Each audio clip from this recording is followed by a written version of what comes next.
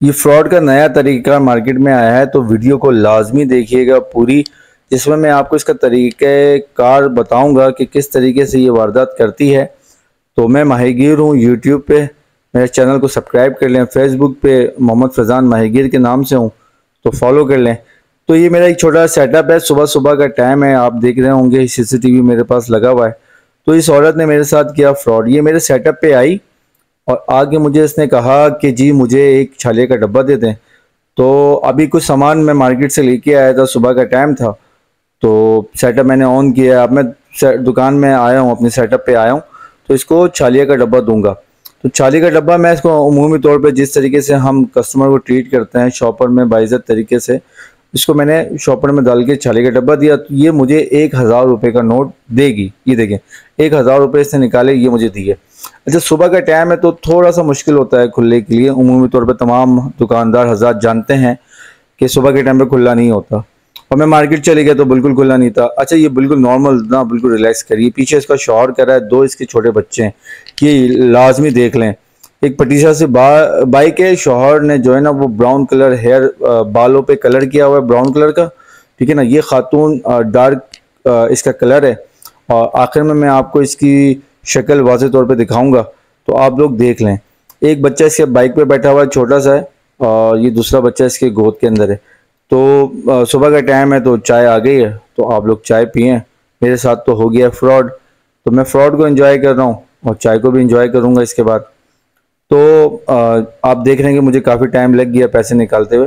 تو یہ میں نے اس کو پیسے دیے، یہ پیسے گنے گی، پیسے گننے کے بعد یہ مجھے کہے گی، ذرا تسلی سے سنیں کہ پیسے گننے کے بعد مجھے کہے گی کہ یہ ڈبہ آپ نے مجھے مہنگا دیا ہے، یہ تو ایک سو ستر روپے کا ہے۔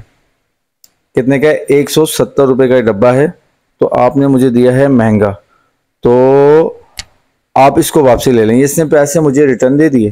اچھا جو شاپر میں نے اس کو دیا نا، اس نے اس کو ٹچ بھی نہیں کیا۔ دیکھیں، اس نے پیسے لیے، یہ فوراً مٹی میں ڈال کے اس نے دبا دیے۔ ٹھیک ہے نا؟ اب مجھے کہ او ہو ہو، بھائی آپ نے کتنے کا دیا ہے؟ میں نے کہا، میں نے دو سو کا دیا ہے۔ کہ نہیں نہیں نہیں، آپ نے ڈھائی سو کا دیا اچھا اس نے چینج کر لیا اسٹیٹمنٹ نا۔ یہ پہلے مجھے کہہ رہی تھی کہ ایک سو ستر کا ملتا ہے۔ آپ نے مجھے مہنگا دیا ہے۔ لیکن نہیں، آپ نے اگر دو سو کا دیا ہے تو آپ نے ٹھیک دیا ہے۔ اچھا اچھا سوری سوری سوری، آپ مجھے واپسی دے دیں۔ اچھا، اسے بچے پکڑی ہوئے سنبھال لیے۔ اور اچھے طریقے سے ٹیپ کر چکی ہے مجھے نا یہ۔ مجھے باتوں میں الجھایا۔ وہ پیچھے دیکھیں اس کا شارٹ کہ ایک بندہ میرے سیٹ اپ پہ آیا تھا، اس سے باتیں کرنے لگ گیا ہے۔ ٹھیک ہے نا؟ اب یہ مجھے انسسٹ کر رہی کہ جی آپ مجھے واپسی دے دیں۔ یہ میں نے پیسے بھی دے دیے اس کو۔ اور یہ میں نے اس کو ڈبہ بھی دے دیا۔ یہ اس نے بائک اسٹارٹ کی ہوئی وہ بچہ آپ دیکھ رہے ہیں آگے بیٹھا ہوا ہے۔ ہم لے رہے ہیں چائے کے مزے، اسلام بھائی نے ہمیں چائے دی۔ یہ ہو گئے رفو چکر تو لانڈی، کورنگی شاپسل ملیر، گلشن حدید اور کراچی کے مختلف علاقوں میں یہ میاں بیوی دو بچوں سمیت سر عام گھوم رہے ہوں گے۔ ٹھیک ہے نا؟ اور سرگرم بھی ہو گئے کہ ہمیں ہم نارمل دکاندار کو کس طریقے سے پاگل بنا سکیں۔ تو یہ واردات تھی طریقہ کار واردات جو میں نے آپ کے ساتھ شیئر کی، تو آپ اس کو لازمی ذہنشی کر لیں کہ یہ طریقہ کار واردات ہے۔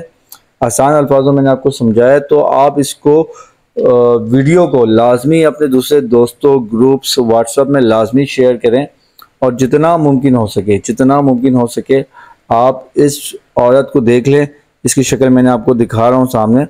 تاکہ آپ اس کو ریکونائز کر سکیں۔ اگر یہ عمومی طور پہ مجھے جو لگا نا، کیونکہ ہمارا ایریا کورنگی سے نزدیک ہے، تو یہ مجھے ایسا لگا کہ کورنگی ایریا کی ہے۔ سنگر چورنگی کے پاس ہمارا ایریا ہے باغ کورنگی۔ تو یہ مجھے ایسا لگا کہ شاید یہ خاتون جو ہے نا، کیونکہ میلی سی لگ رہی تھی کورنگی جیسی، تو یہ خاتون شاید کورنگی کی ہے۔ تو جتنا ممکن ہو سکے لانڈی کورنگی شاپسل ملوی گلشن حدید گلستان جوہر، گلشن تو یہ دور نہیں ہے علاقے، تو یہ ایزلی آپ تک پہنچ سکتی اور آپ کو معصوم دکاندار کو اس طریقے سے فراڈ کا نشانہ بنائے گی۔ جو ہماری پوری دن کی محنت ہے، وہ آپ سے خاموشی سے لے کے رفو چکر ہو جائے گی۔